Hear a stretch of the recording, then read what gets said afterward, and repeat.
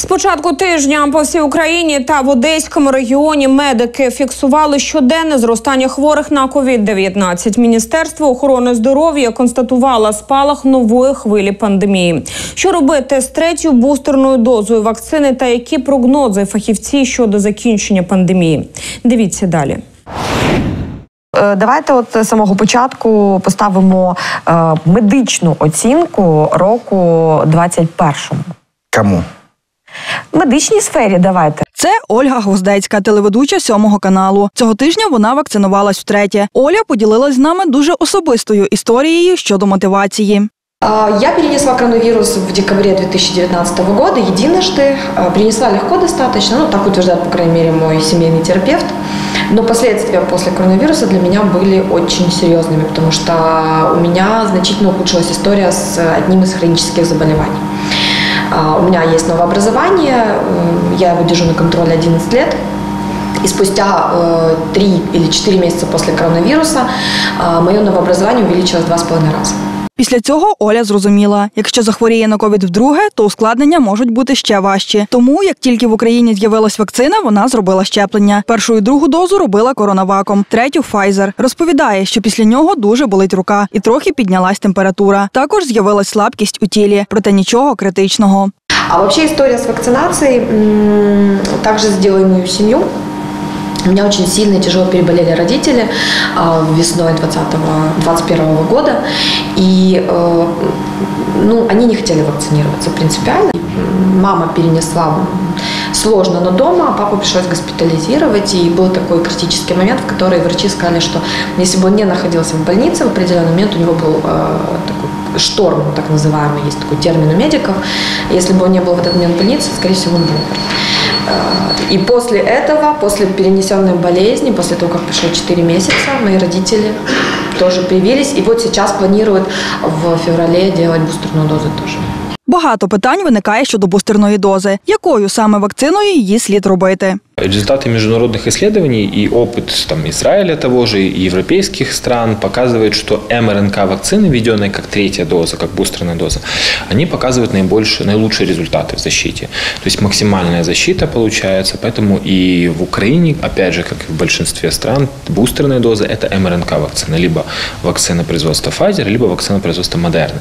Но если человек категорически не хочет э, именно МРНК-вакцину, хочет получить, допустим, коронавак, либо хочет получить AstraZeneca, он может переговорить об этом с врачом, который будет его прививать, и получить и эти вакцины на прививку. Цього тижня у всій Україні й Одесі, зокрема, спостерігається стрімке щоденне зростання нових випадків COVID-19. На кінець тижня в країні зафіксували вже понад 20 тисяч нових хворих. Нову хвилю пандемії викликав новий штам Омікрон. Это реально новая волна, и она идет абсолютно аналогично по ситуации прошлого года.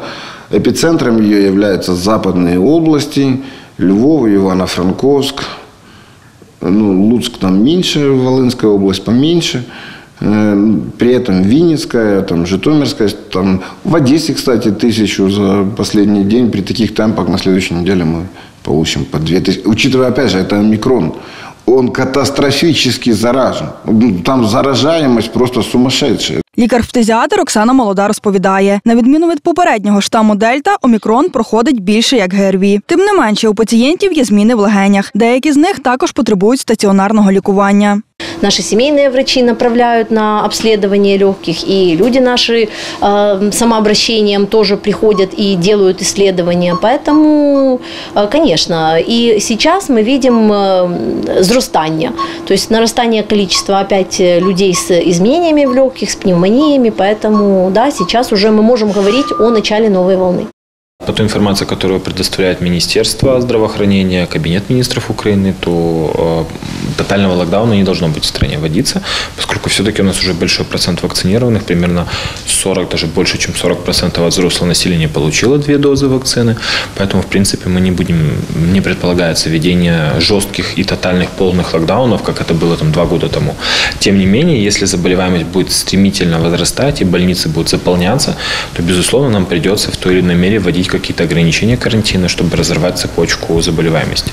В Україні скоротили строк дії ковід-сертифікатів після двох доз вакцини до 270 днів. Про це заявив міністр охорони здоров'я Віктор Ляшко під час засідання уряду в середу, 19 січня. Нові ковід-сертифікати після бустерної дози почнуть видавати в кінці січня. Станом на п'ятницю бустерну дозу отримали 167 тисяч 360 українців. То хто вакцинувався бустером, третій відразу термін сертифікату, який е, є в дії, генерується, буде подовжений і матиме термін дії е, 200 70 днів, 9 місяців. Всі експерти в галузі медицини сходяться в одному. Вибір вакцинуватись чи ні має бути добровільним. Проте щодня з'являється все більше підтверджень того, що вакцина полегшує перебіг хвороби та рятує життя. Це також стосується вагітних жінок та новонароджених. Е, ймовірність народити раніше у жінки, яка перенесла коронавірусну інфекцію, вона більша.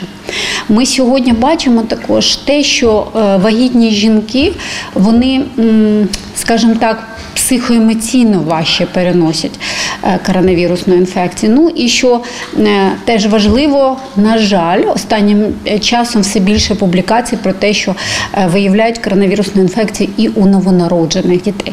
От з цього приводу, звичайно, ми дуже очікували, коли вже з'являться ґру- ґрунтовні дані, які нам підтвердять, що ми можемо запропонувати вагітним жінкам вакцинування. На сьогодні з'являється все більше інформації про рішення суддів на користь тих, кого відлучили від роботи через відсутність щеплення. Наприклад, Одеський суд визнав незаконним усунення від роботи невакцинованого від коронавірусу співробітника політеху без збереження заробітної плати, так як це суперечить Кодексу законів про працю України, Конституції України та іншим нормативним актам. Раніше таке ж рішення виніс суд міста Чорноморськ.